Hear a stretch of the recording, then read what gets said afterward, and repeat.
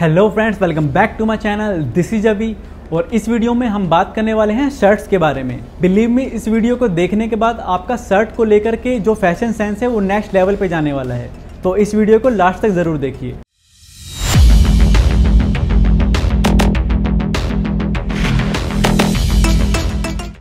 Point number one है type of shirt अब shirt को आप स्टाइल के हिसाब से तीन कैटेगरी में डिवाइड कर सकते हैं फॉर्मल सेमी फॉर्मल और कैजुअल फॉर्मल शर्ट्स में आते हैं सॉलिड कलर के शर्ट्स जिन्हें आप बस फॉर्मल ओकेजन पर या फिर ऑफ़िस में यूज़ कर सकते हैं. फॉर्मल शर्ट में बेस्ट ऑप्शन के लिए आप व्हाइट लाइट ग्रे या फिर लाइट ब्लू अपने कलेक्शन में ऐड कर सकते हैं. ये तीनों ही कलर सभी तरह के पैंट के साथ में मैच हो जाते हैं. फॉर्मल शर्ट्स में बस इन कुछ बातों को ध्यान में रख के आप अपने लुक को बहुत ही ज़्यादा नेक्स्ट लेवल पे ले जा सकते हैं. लाइक फॉर्मल शर्ट्स की कॉलर हमेशा स्ट्रेट होनी चाहिए।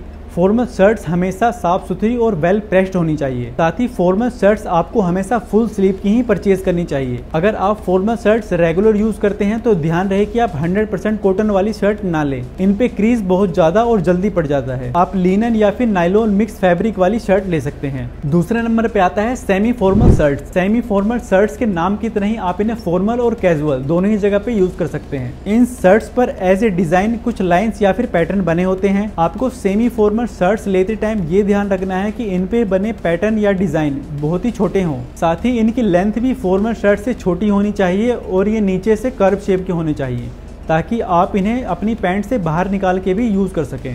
ये कुछ सेमी फॉर्मल शर्ट के बेस्ट ऑप्शन हो सकते हैं। थर्ड है हमारा कैजुअल शर्ट्स कैजुअल शर्ट्स में मल्टीपल कलर एंड डिज़ाइन के वेरिएशन अवेलेबल होते हैं। इनमें आप चेक और पैटर्न वाले शर्ट भी ले सकते हैं।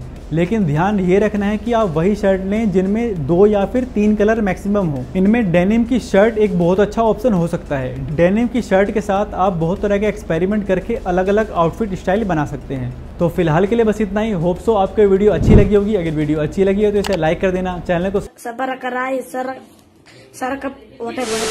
कर देना। इसके साथ ही मिलते हैं नेक्स्ट वीडियो में। तब तक के लिए बाय